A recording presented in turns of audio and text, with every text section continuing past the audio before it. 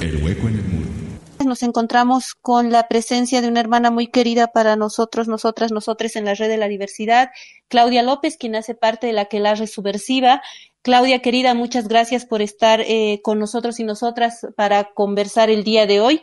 Pedirte que saludes a la audiencia y también presentes un poco acerca del trabajo que vienes realizando. Eh, buenos días, Gaby. Buenos días, Pablo. Un saludo a ustedes eh, en el programa eh, El Hueco en el Muro y también a, la radio Guaynatambo y a todas y a todos los que nos escuchan. Bueno, em, yo soy Claudia López Pardo, eh, hago parte de, de, la Quelarre subversiva aquí en Cochabamba también eh, hago parte de un pequeño espacio que hemos conformado con Lucia Herbas y Marxa Chávez, que se llama Precarias e Investigadoras, en, en, el cual realizamos investigaciones a partir desde un enfoque, una práctica más feminista, y donde estamos trabajando algunos temas principalmente relacionados a, a las luchas de las mujeres, pero pues anclados en, en, en temas sobre lo que se produce en relación a la politicidad de las violencias y también la precarización de la vida. Es lo que en estos eh, casi tres años hemos estado investigando en diferentes, en diferentes como lugares, pero al mismo tiempo muy, muy relacionado sobre todo a las prácticas eh, y luchas que realizamos las mujeres, sobre todo en las ciudades. Gracias, Clau. Respecto a ese trabajo que ustedes vienen realizando, mencionas dos temas eh, que nos parecen bien importantes, igual como posicionar y conversar un poco acerca de ello, que tiene que ver con esto de la investigación feminista, que es a qué hace referencia, cómo se hace una investigación feminista y también que los temas que tú vienes o que la colectiva viene investigando y sobre la cual viene trabajando también eh, están muy relacionados a este tema que ya veníamos hablando también, ¿no? Este, eh, la justicia, cómo eh, estamos ahí nosotras como mujeres, eh, cuál es nuestro accionar como sujetas, digamos, y pues también cuáles son nuestras propuestas, resistencias en esos espacios, Ok, sí, eh, bueno, un poco para mencionar de dónde ha surgido como esta idea o la posibilidad de, eh, de como investigar, profundizar la reflexión sobre la justicia que se produce en Bolivia.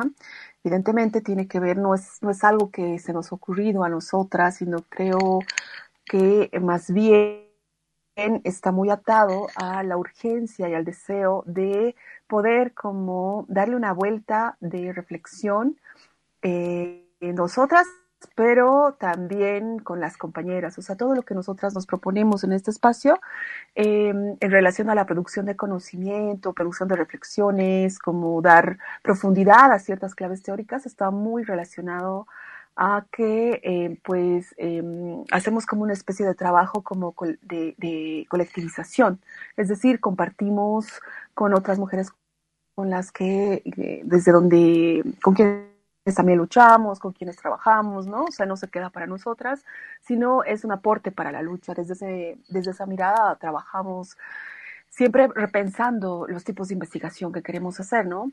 Entonces, pues ahí eh, más o menos como en el 2022 habíamos notado que en esos años, entre el 2021 y 2022, había como un rebrote muy fuerte sobre el debate de justicia que venía de la mano no solamente de, las madres y familiares eh, que estaban luchando por justicia, interpelando de lo que significa ser justicia en este país, sino también eh, de, de, ciertas como colectivas, instituciones que acompañaban, etcétera, y eh, muy también que resonaba con el trabajo ¿no? de las mujeres creando y María Galindo, y eh, en un contexto en el que se reproducían las, se reproducían las violencias, acuérdense que entre el 2021 y el 2022 una serie de, de, de hechos de corrupción de, de sistema judicial y jueces, em, y, un caso como emblemático de Richard Choque,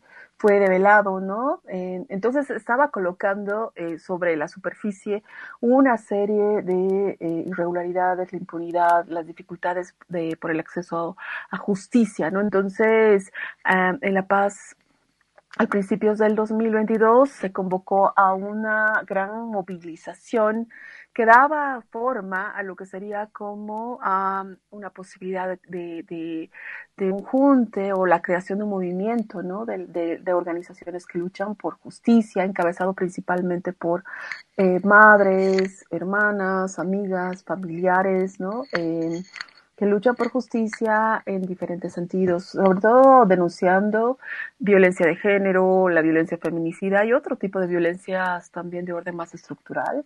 Entonces era pues para nosotras mirar todo ese, despliegue de luchas y también lo que se produce en el debate como una especie de reflejo en las luchas más... Eh, en organizaciones como feministas, colectivos que, que van como debatiendo y como se van pronunciando, pues nos, nos hizo ver de que era muy urgente, eh, como también empezar a organizar un poco la experiencia y ver qué significaba y qué preguntas estaban em, realizando esta búsqueda por justicia, ¿no? Entonces fue, fue ahí que dijimos, eh, la lucha que venimos emprendiendo, eh, las mujeres, las, eh, las organizaciones, las colectivas más feministas que se declaran abierta, abiertamente feministas, estamos como en este proceso de politización de la lucha contra las violencias, estamos produciendo claves interesantes y nos estamos preguntando qué es hacer justicia en Bolivia. Entonces fue ahí donde pues nos como hicimos como un primer acercamiento, como una especie de, como de radiografía, de ver esa constelación de luchas, y luego fuimos haciendo como algunos otros, otros, otros trabajos también más pequeños en relación a, ver qué, qué tipos de como alternativas sobre o qué se estaba produciendo en claves, ¿no? Sobre lo que estamos entendiendo pues los espacios más autónomos de lo que es hacer justicia. Clau, y en ese trabajo investigativo que ustedes han podido realizar ya desde diversos territorios, como tú lo mencionas, ¿qué es lo que se ha podido visibilizar como experiencias concretas que vienen caminando? ¿No? Sabemos todo lo complicado, todo lo doloroso que es seguir eh, la ruta judicial institucional para lograr eh, de alguna manera la restitución de la justicia, digamos, en un caso determinado, especialmente en el caso de nosotras como mujeres. Eh, pero supongo que ahí también se van como organizando luchas de acompañamiento, de acuerpamiento, que a la vez son las resistencias y las reexistencias que se manifiestan desde las luchas de las mujeres, ¿no? ¿Qué es lo que se ha podido ver en esos territorios, con esas colectivas con las cuales han venido conversando?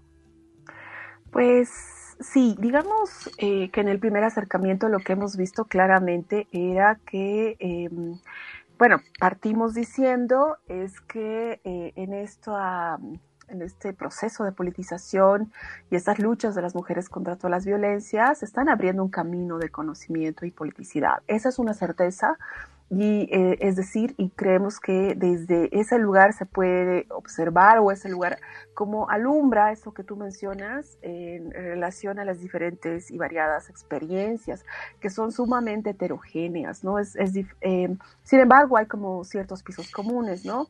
Entonces, eh, creíamos que era importante como sobre todo mirar esos esfuerzos eh, que se están haciendo y que sobre todo em, buscan el horizonte de obtener justicia, ¿no? Eh, y las dificultades y límites, como tú bien decías, en relación a, sobre todo a los casos más de violencia y agresión y feminicidio, ¿no?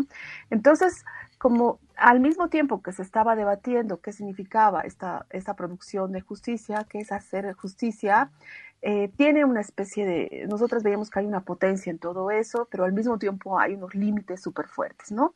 Em, entonces, esta búsqueda de justicia, estas luchas eh, en los diferentes escenarios, sobre todo de justicia estatal, eh, develan, han, han, develado muchas certezas, ¿no? en el sentido de que en el campo de la justicia estatal no se están resolviendo los hondos problemas provocados por esta naturalización de la violencia en nuestra sociedad, ¿no? Entonces, otras de las como de las derivas que, que, salen muy visibles y se, y se nota claramente es esta perpetuación de la impunidad y la intensificación de la violencia cotidiana de las mujeres. Es decir, la justicia estatal no resuelve lo que significa vivir eh, y reproducir violencia y cómo, cómo afecta a los cuerpos específicos de las mujeres en nuestra sociedad.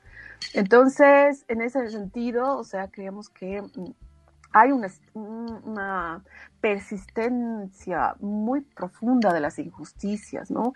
Y eh, nosotras y la población en general eh, no confía, o sea, desconfía del sistema oficial de derecho y de las instituciones que teóricamente gestionan y regulan la violencia, ¿no? Entonces, esa fue una de las cosas súper claras, o sea, y em, si bien eh, en ese sentido eh, hay esta desconfianza, sabemos que no funcionan los sistemas de justicia, es muy difícil como, ¿qué hacemos? ¿No? Preguntamos entonces cómo, qué, qué, es lo que se está debatiendo en relación a hacer justicia, cómo encontramos nuestros eh, mecanismos o, o, volvemos al debate de lo que significa resolver las violencias también, hacernos cargo de alguna manera de lo que sucede en los espacios cotidianos pero no, sin negar de que, mm, por ejemplo, en casos ¿no? Eh, de feminicidio, en casos de violencia de género, eh, se está buscando, se está buscando, se busca justicia en ese escenario del, del, del, de la justicia estatal, es decir, se entra a ese bucle, si quieren, ¿no? a, ese, a ese lugar eh, de como de resolución, aunque se sabe que se van a vivir igual un montón de contradicciones, dificultades, revictimización, etcétera, ¿no? Entonces ahí nosotras vimos como que, por un lado, digamos, eh, eh, todas, ¿no? O muchas organizaciones, o sea, sobre todo las organizaciones de madres en casos de feminicidios, que es como lo más duro, buscan justicia dentro de la justicia estatal, o sea, dentro de ese, una, una compañera, eh, Lucía, lo nombraba eso como central a los fauces de la bestia, ¿no? Es decir, en, a ese lugar donde sabes que vas a recibir igual agresión, ¿no?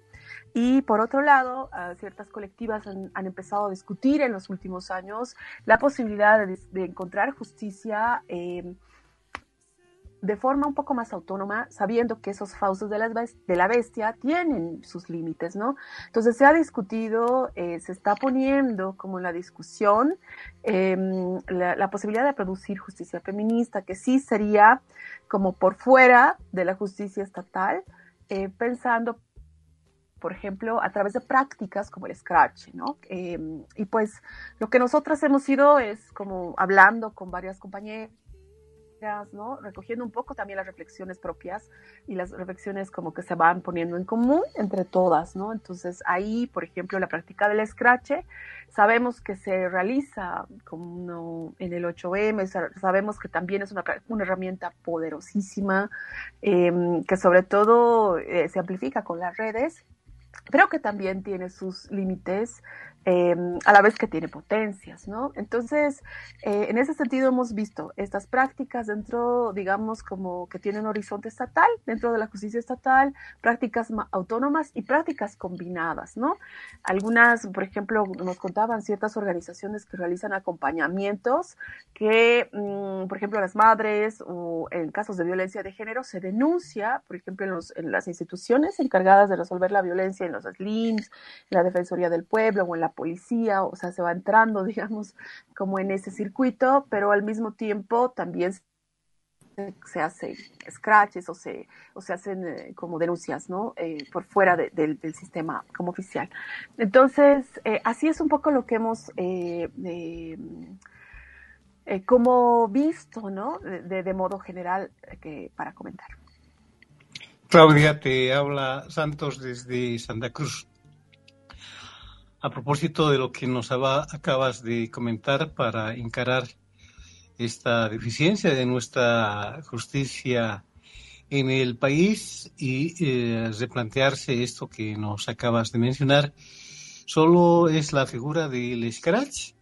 Hay algunos antecedentes en países de nuestro continente que hayan aplicado esta medida u otras medidas y conoce eh, los resultados de esto, si es que hay experiencias en países vecinos. Eh, Hola Santos, buenos días. Pues mire, nosotras lo que hemos visto dentro de lo que sucede en Bolivia y cómo también, cómo se han amplificado ciertas prácticas, como mencionaba lo del scratch, eh, algo, una, una, ¿cómo se puede decir? Una lucha muy importante ha sido que en esos años, digamos en ese tiempo de, de ebullición, de, de, lucha, sobre todo y de denuncias fuertes, estaba también las denuncias que se han producido en las universidades, ¿no? Eh, no sé si si, si, recuerdan que en Santa Cruz, sobre todo en La Paz, en la Universidad Católica, hubo un grupo muy importante de, jo de jóvenes de universitarias que denunciaron los abusos dentro de sus universidades, ¿no? Aquí en Cochabamba también el 2022, si no me equivoco, en, en antes del 8M se organizó como una, un tendedero eh, y que se reprodujo no solamente eh, como no fue una convocatoria, solamente como un encuentro en las puertas de la Universidad de Mayor San Simón, sino también eh, se hicieron denuncias sobre todo de acoso, eh, de violencia de género, ¿no? Y, y, de acoso laboral en las redes. Entonces, yo sí creo que hay como una especie de, es un momento, todas estas acciones están ligadas a esta, este deseo y esta como hartazgo ¿no? en las mujeres en diferentes edades, en diferentes espacios, de decir basta la violencia, no estamos hartas y ya no queremos callar, ¿no? En, y creo que ciertas prácticas como el scratch están muy como a tono con ese hartazgo, ¿no? Y con, que al mismo tiempo produce una especie de, de, de sacar la voz, romper el silencio y poner límite a ciertas agresiones, ¿no? Porque pues sabemos, eh, todas sabemos que denunciar, dejar de callar, hablar, eh, como romper el silencio es romper como con varias cosas y es un proceso también muy difícil, ¿no?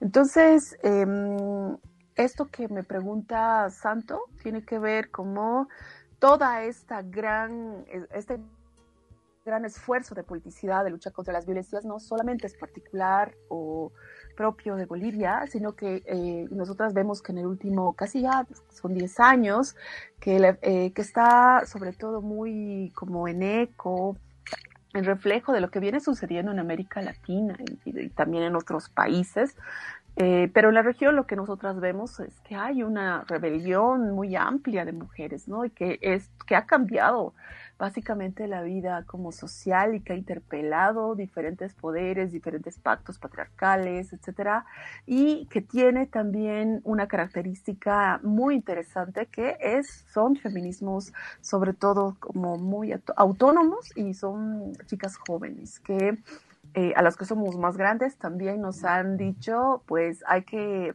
que luchar y recuperar también, ¿no? Esta capacidad de hacerlo más autónomamente, romper eh, como eh, estos silencios y también como revisar eh, como ciertas prácticas, ¿no?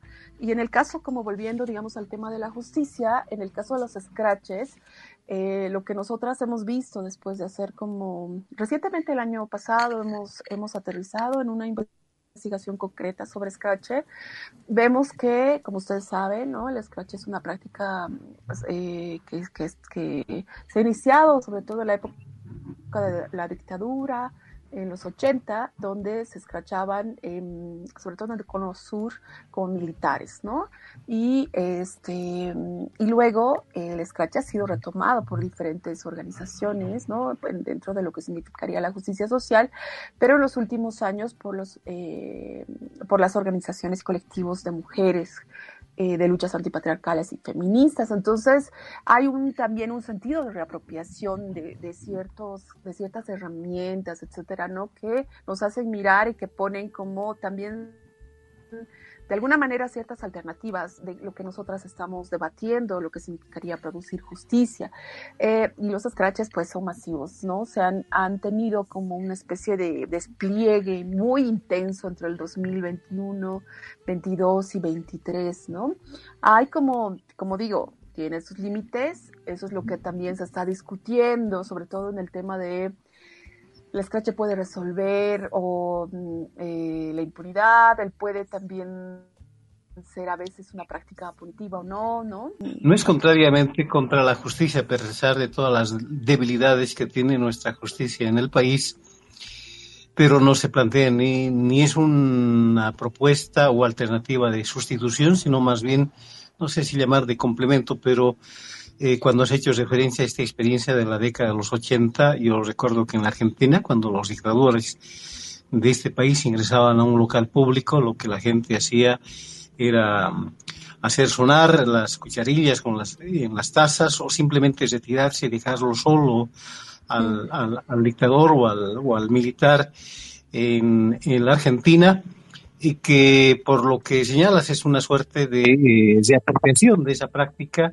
que en la práctica no tiene un carácter, digamos, punitivo, ni sancionador, ni de responsabilidad eh, de una medida eh, que establece responsabilidad y medidas, digamos, de privación de libertad, sino fundamentalmente, o de carácter económico, fundamentalmente vendría a ser una sanción moral. ¿Me equivoco, Clau?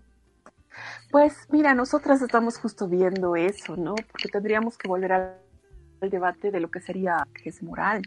Yo creo que más lo que nosotras estamos viendo tiene que ver con que al no justo, al ser el scratch mm, una, una práctica que no está institucionalizada y que no tiene, ¿no? Que, que está por fuera de lo que sería el, cualquier mecanismo de la justicia estatal, este eh, hay, es una práctica que expone al, al agresor, ¿no? Que creemos que lo que también es importante como, como mirar es que justo eh, hay, hay situaciones, eh, hay casos, ¿no? De scratch. Hay que tomar la situación caso por caso, ¿no? Porque mmm, scratch es una palabra fuerte, es una palabra impactante, ¿no? Y es una acción impactante al mismo tiempo. Quien, un agresor, por ejemplo, un violador, un, eh, alguien que ha cometido un abuso, ¿no? de una violencia dura, eh, que ha agredido eh, sexualmente digamos, a una mujer o a una niña y que es, que es expuesto, obviamente va a tener una, una repercusión súper fuerte, porque incluso hasta las, eh, el efecto puede ser no solo social, sino también económicamente, ¿no? Porque es expuesto, es expuesto, ¿no? O sea, se, se lo ve, se ve. Eso que se callaba, digamos que antes, muy en torno a lo que mencionaba en relación a esta naturalización de las violencias, o sea, eh, explota de alguna manera, ¿no? O sea, ya no se calla, o sea, se le señala. Por ejemplo, el, el, hace dos años, las eh, colectivas en Sucre, Sucre que es un departamento, ¿no? Que tiene como, pues, raíces muy conservadoras, una sociedad también con un, con un tipo, ¿no? De eh, culturalmente y no solamente, o sea, eh, una sociedad, ¿no? Muy con familias tradicionales, etcétera, eh, pues las chicas en el 8M han organizado un, tendedero donde se han escrachado a diferentes hombres con poder de diferentes, o sea, sobre todo de clase social como alta, y, eh, y, de diferentes espacios, ¿no? Desde jueces, eh, maestros, profesores, quiero decir docentes, ¿no? Hombres que pues em, a quienes no les llegaba ninguna como sanción y que estaban muy impunes, sobre todo ¿no? en, esto de, de violencias abuso sexual. Entonces han sido expuestos. Y eso ha sido un escándalo, ¿no? Que todavía se sigue hablando de eso dentro de las organizaciones, ¿no? Ha habido una sanción también contra las y una persecución contra las feministas, sin embargo, o sea, esta ruptura de silencio, pues ha tenido, un, como dice una, dice una, una de las compañeras, dice, ha sido como un efecto campana que ha resonado por mucho tiempo, ¿no? Entonces, eh, mm, más o menos es así, eh, es lo que, que, que, estamos como identificando y lo que se está haciendo en relación al Scratch.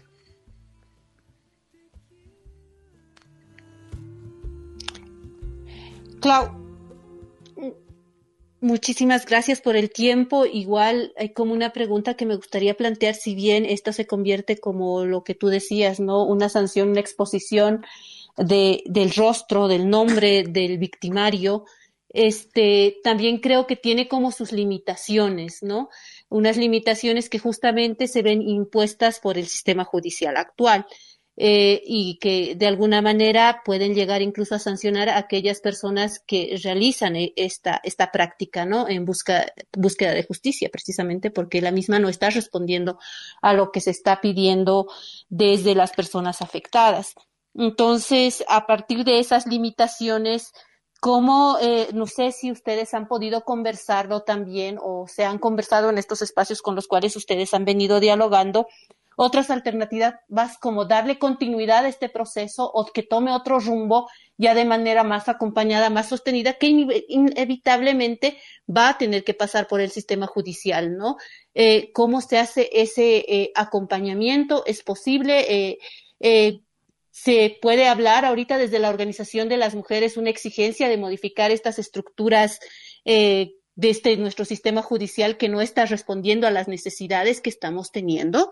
No solamente limitaciones, ¿qué pasaría, por ejemplo, si habría un falso scratch para decir, para eh, comparar con las falsas denuncias que también eh, no las vamos a negar, pero efectivamente son particulares y puntuales en el caso de violencia contra las eh, mujeres.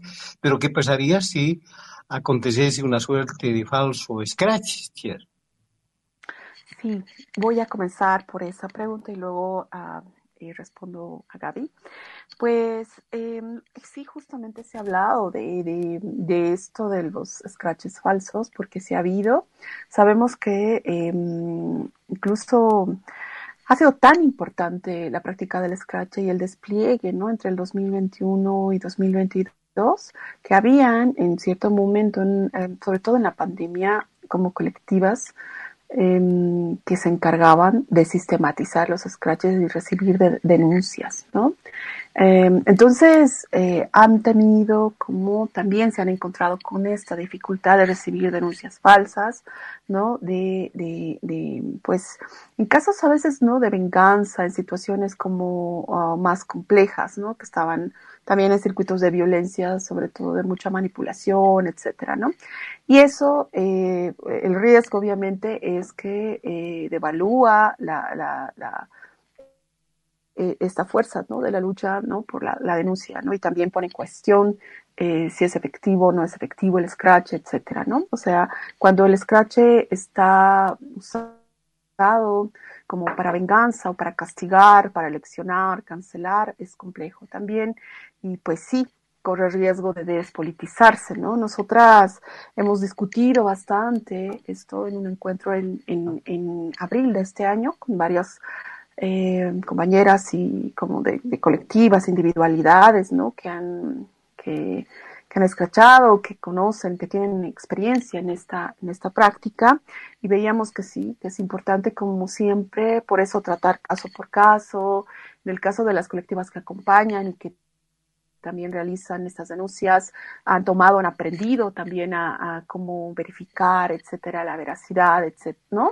Y tener estrategias también de de, de, acompañar más como efectivamente, etcétera. O sea, hay que ver que hay como ciertos riesgos en relación al otro es que mm, eh, creemos que, eh, y ahí voy como respondiendo a Gaby, em, el Scratch con todas sus dificultades, incluso con ciertos, como con, con esa posibilidad, ¿no? Y con el debate profundo que puede haber como práctica, que puede ser punitivista o no, como una práctica punitiva o no, es, una práctica legítima y en muchos casos, justo frente al límite de la justicia estatal, tiene su efecto pues político, ¿no? Y creo que, como le decíamos allí en, en ese, en ese debate como profundo, es que no se le puede restar su legitimidad, sobre todo cuando es una práctica que se realiza en espacios eh, que están discutiendo y politizando la lucha contra las violencias. Entonces, pues ahí creo que justo cuando está muy, la práctica está anclada a, estrategias, a organización, a, lucha, creo que no se despolitiza, ¿no? Entonces siempre hay que estar revisando eso.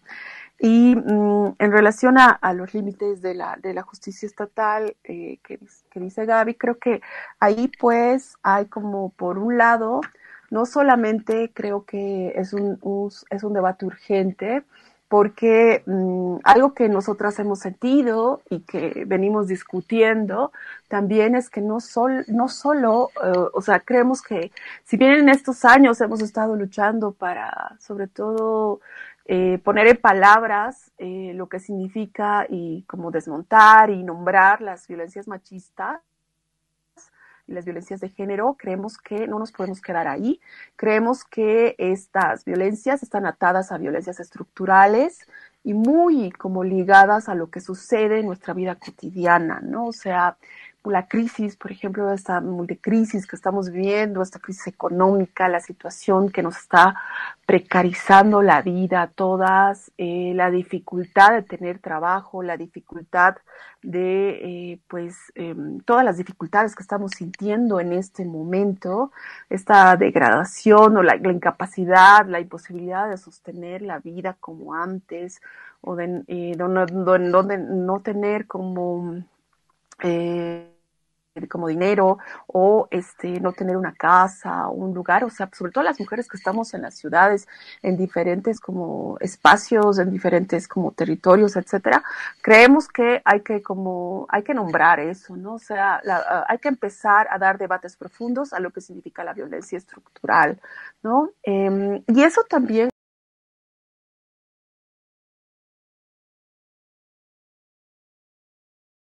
nos hace como reconectar al tipo de vida y el tipo de horizonte que queremos como construir y, seguir como discutiendo sobre qué es para nosotras producir justicia. ¿Realmente eh, la justicia estatal va a resolver lo que nosotras estamos buscando? Sabemos que no, que tiene unos límites durísimos. Entonces, ¿cómo empezamos a, a volver al debate de justicia social? Que también ha sido anulado en estos años, ¿no? Con todas las dificultades, pues, que ya sabemos. Entonces, creemos que es un momento donde hay que reapropiarnos también de ciertos debates que nos corresponden a, todas y a todos, pero principalmente en los espacios donde estamos eh, como viendo la vida que queremos vivir, ¿no? Ante un escenario que no quiere nombrar las cosas y que está negando las crisis. Eh, ahí mismo vamos a seguir discutiendo lo que está contra eh, las injusticias, sobre todo y nombrando las injusticias que estamos viviendo las mujeres y otras compañeras, ¿no? De casos eh, eh, muy concretos, sobre todo, ¿no? Porque también ahí quiero decir de que antes yo, yo siento que se podían ver que los casos de injusticia, la violencia contra niñas, violencias contra contra mujeres se parecía como algo ajeno, pero yo creo que cada vez nos están tocando y están en el núcleo de nuestras de nuestros espacios de politicidad, en nuestras colectivas, o sea, y eso eh, nos está enseñando también a nombrar el acompañamiento, aprender a, practicar, eh, saber acompañar y pensar también la forma como vamos a reparar, ¿no? Estamos pensando y creo que nos corresponde a, todas, a todos. Bueno, nosotras en los feminismos queremos como seguir en ese debate, como impulsar ese debate. Sí creemos que es importante que volvamos a discutir, llevar a nuestros espacios como políticos em, ciertas claves, ¿no? Que pareciera que le, le toca al Estado solamente como producir justicia. No, creo que pues sabemos muy bien y hemos aprendido lo que sucede en, ciertas comunidades. Tienen una tienen pues un avance, ¿no? Incluso teórico, toda una epistemología en relación a lo que es la justicia comunitaria, ¿no? Entonces hay, hay cosas avanzadas y creemos que es importante hacernos cargo, ¿no? Y volver a pensar qué tipo de justicia queremos. Nosotras estamos discutiendo alrededor de la justicia feminista sin ligarla de esta como dimensión más social comunitaria. Creemos que ahí podemos como dar unas vueltas más al, al, respecto. Y eh, eh, por otro lado, eh, algo que, pues, que Pablo decía, creemos que es un debate abierto. En vez de tener como, como respuestas cerradas, más bien creemos que hay preguntas alrededor de todo esto, en ese, en ese hacerse cargo porque no podemos delegarle al Estado todo. Creemos que, por ejemplo, la violencia no se va a resolver em, solamente, pues, em, como colocando más castigos o viendo que si sabemos que la cárcel es otro sistema de reproducción de violencia, ¿será que metiendo a la cárcel a todos vamos a resolver? O sea, creo que hay cosas, hay preguntas que tendríamos que, mirar, ¿no? O sea, y también ver los niveles, los, impactos, etcétera.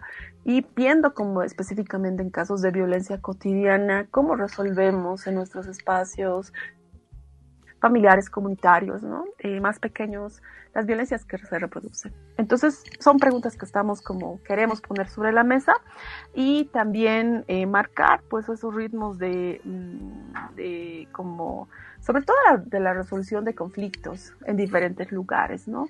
Y diferentes espacios. O sea, como vuelvo a decir, esto lo estamos haciendo también en lo que serían los límites de, los espacios de mujeres y luchas antipatriarcales, ¿no?